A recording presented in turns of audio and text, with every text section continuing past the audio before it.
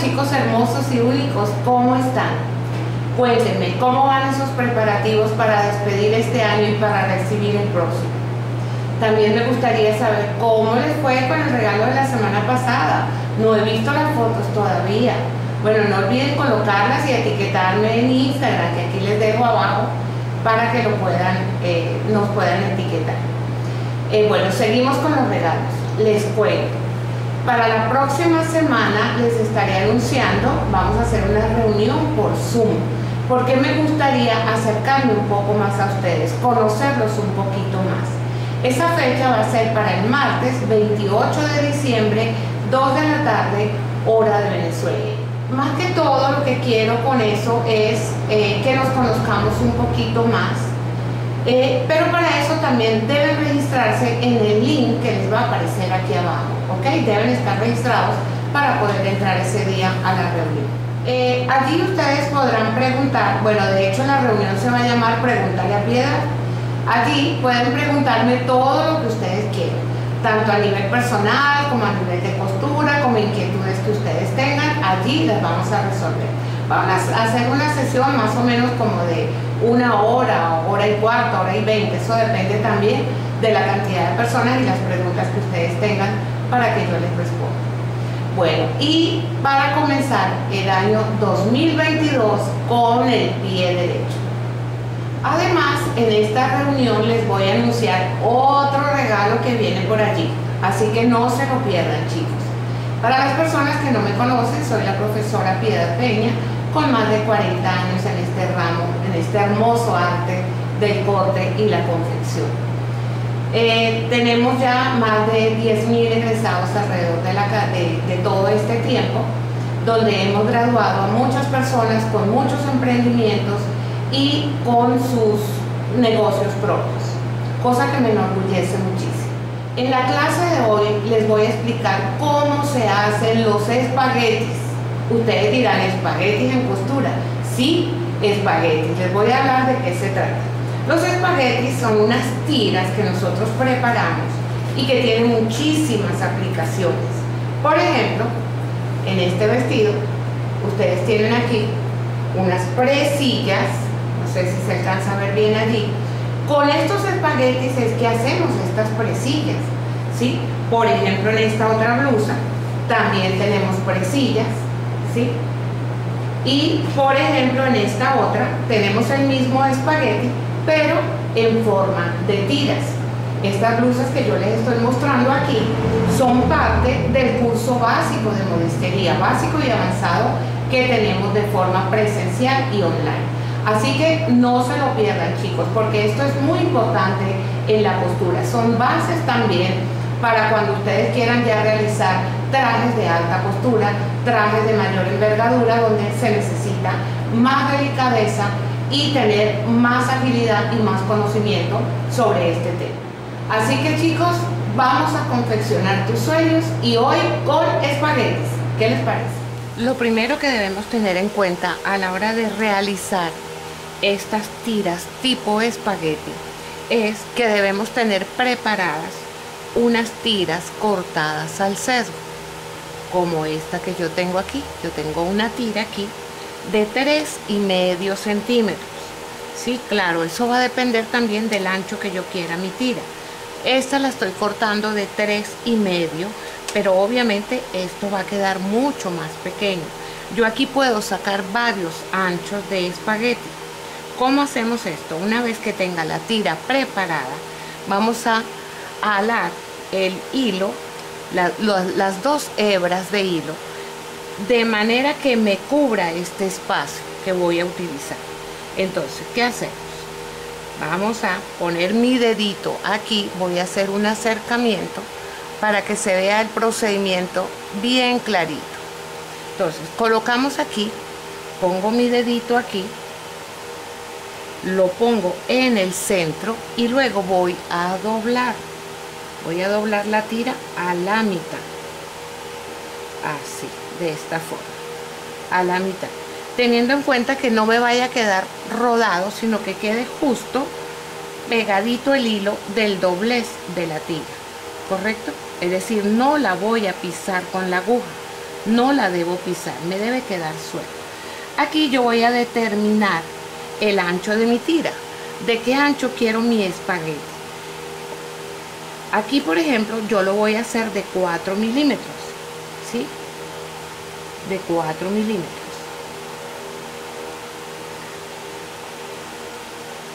o del ancho del pie, como ustedes prefieran. Eso depende del ancho que ustedes quieran, pero lo pueden hacer de diferentes anchos. Yo lo voy a poner ras con ras con el ancho del pie, es decir, que me va a quedar de 0.7, pero si la quiero más chiquita, pues también la puedo hacer más pequeña. Entonces, comienzo aquí rematando. Costura recta, rematamos. Y una vez que ya yo tenga rematado ya puedo sacar mi dedito de aquí. Voy a colocar el hilo en el centro. Sigo doblando y voy a mantener el margen que traigo aquí. El doblez lo tengo hacia este lado correcto y vamos a coser. Bien parejito es el truco que quede bien parejita esa tira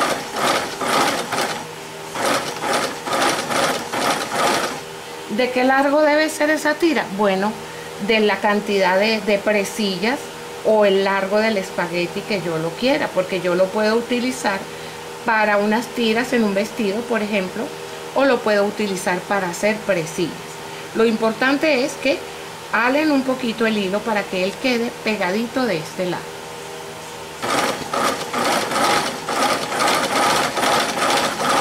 Nunca debo cortar la tira de la medida que necesito las presillas. Las presillas las corto después que ya esto esté hecho. Entonces ya llegamos aquí al final. Remato nuevamente.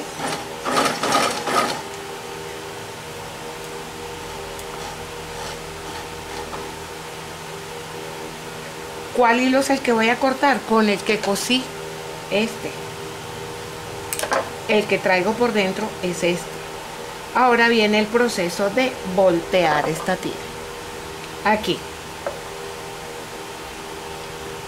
Hay que tener muy en cuenta que el margen de costura que me quede sea igual al ancho que yo quiero mi, mi espagueti. En este caso está más grande. Entonces yo debo recortar ese excedente para que me quede de la misma medida el margen de costura me debe quedar de la misma medida. Por eso les digo también que esta tira me puede servir para varios anchos. ¿sí? Incluso yo la puedo hacer de un centímetro y me va a quedar perfecta sin tener que recortarle. O en su defecto la puedo hacer también más pequeña y en ese caso pues tengo que recortar un poquito más. Ok, entonces ya tenemos aquí cortada alamos un poquito el hilo que tengo aquí por donde empecé. Vamos a alarlo un poquito para poder recortar también esta punta porque esta punta no va a dejar que esto voltee como debe voltear. Entonces vamos a recortar este sobrantico. Incluso le podemos recortar aquí un poco también para que sea más fácil darle la vuelta una vez que ya lo tengo aquí, entonces vamos a introducir aquí. Al principio es un poquito eh, complicado, pero una vez que ya él pasa por aquí, ya lo demás pasa completo sin problema.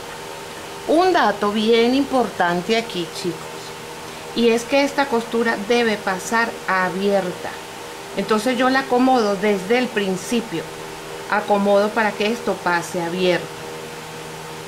¿Se está entendiendo? Entonces, ¿cuál es la idea de esto? Que la costura quede abierta por dentro a la hora de, de que yo le dé la vuelta. ¿Por qué? Porque esto, esta costura me va a servir a mí de relleno interno. Y ya, una vez que él pasa, si al principio les cuesta un poquito, tienen que irlo acomodando de manera que pase perfectamente. Claro, en telas sedosas, ¿sí?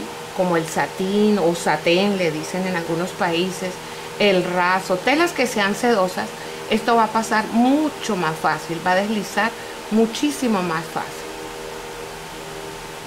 Y bueno, con mucha paciencia, con mucha paciencita, porque esto es de paciencia. De irlo sobando, acariciando, hasta que ya él empiece a deslizar sin ningún problema. Como le digo, en estas telas es un poquito más complicado porque no son sedosas, pero ya ahí empezó a pasar. Entonces hay que mantener la costura abierta, ¿sí? La costura abierta para que él vaya deslizando por dentro sin problema. Ahora ya si se trata de un tirante, pues obviamente que la tira es mucho más larga y tienen que hacerlo con mucho más cuidado para que no se reviente el hilo por dentro y yo lo pueda golpear. Ya una vez que pasa aquí, ya no hay ningún problema. Bueno, fíjense, así es como me queda. Ahora, si yo, dependiendo también de lo que yo vaya a hacer, la puedo dejar así o la puedo planchar. Aquí, ¿qué es lo que me interesa a mí? Que la costura también quede en el centro, porque en el momento de planchar, si es que la quiero planchar, la costura va a quedar exactamente en el centro. Entonces, si yo voy a hacer una presilla, ¿cómo la hago? De esta forma. ¿Correcto? ¿Por qué tiene que ser a sesgo? Porque si no, esto no me va a dar la vuelta. No me va a quedar así, me va a quedar arrugado. Entonces, el truco es que esto quede cortado al sesgo para que esto me dé la vuelta perfectamente. Voy a plancharla para mostrarla cómo queda planchada. Bueno, aquí está mi tira. Y ya, aquí si es para presillas, aquí yo voy a colocar la medida, ¿sí? De cuántos centímetros quiero cada presilla. Entonces ya ahí yo mido, vamos a suponer que mi presilla es de, de 4 centímetros. 4 centímetros. Entonces por aquí cortamos y obviamente pues vamos a cortar todas las tiras de esa misma medida para que me queden exactamente iguales. Ya a la hora de aplicarlas eh, donde yo las vaya a aplicar. Ahora un dato importante también aquí chicos. Yo lo cosí con hilo negro por efecto de la cámara para que se vea lo que yo estoy haciendo. Pero obviamente que esto se hace con hilo del mismo color, ¿sí? Entonces, fíjense, aquí me queda una presilla pequeñita, ya lista para colocarla sobre la prenda, sobre la blusa, en el puño, en fin. También para, para licra se usa la misma técnica y en licra pues pasa muy muy fácil porque la licra eh, resbala suave dentro del, del tubo que acabamos de hacer. Entonces, estos detallitos son bien importantes. ¿Ok? Con un poquito de paciencia y con mucha práctica. También es muy importante que en el momento de que nosotros cortemos estas tiras al sesgo, me queden bien parejitas, porque yo me voy a guiar por acá también. Deben quedar muy bien cortadas. Bueno, otro detalle importante aquí es, eh, como les digo, tiene que ser al sesgo. Y para las personas que de repente no sepan cómo cortar un sesgo, aquí abajo les voy a dejar un link donde explico cómo se cortan y cómo se unen. Otro detalle importante, nunca me deben quedar empates, porque eso se va a ver feísimo y me va a costar mucho más voltearlas también. Entonces es lo posible sacar una tira completa, ¿correcto? Ese es el truco. Otro detalle importante a la hora de colocarlas en mi blusa o en mi puño es que el lado de la costura me debe quedar hacia arriba. Suponiendo que este es el derecho de la tela, yo debo colocar la presilla con, el, con la costura o con el revés de la presilla hacia arriba. Por ejemplo, yo voy a pegar esta aquí. La piso, claro. Antes tengo que haber marcado las distancias para que todo me quede bien piso, aquí levantamos el prensa tela y vamos a darle la vueltica para acá. Igual que me quede también con la costura hacia arriba. Vamos a ver si lo puedo hacer de otra manera que se vea bien. aquí, pegadita de la primera, de la primera patica tiene que ir la segunda, ¿correcto? Ahí ya bajamos el prensatela y terminamos de coser. Pueden ayudarse con un alfiler para que no se ruede.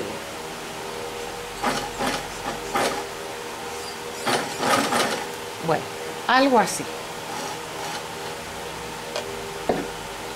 Entonces ya cuando yo le doy la vuelta a esto, así es como me van a quedar.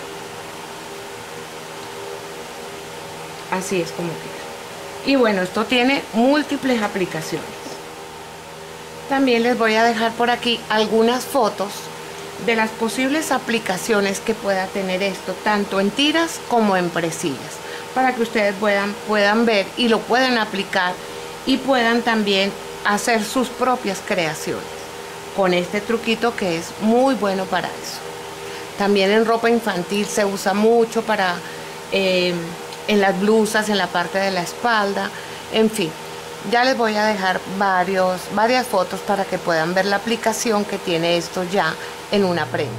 Bueno chicos, espero que les haya gustado la clase de los espaguetis de hoy, ¿ok? Que los pongan en práctica porque como les expliqué en el video, es cuestión de práctica, de tener paciencia, de hacer las cosas con calma, con cuidado y haciendo las cosas como se les indica, así no van a tener ningún problema.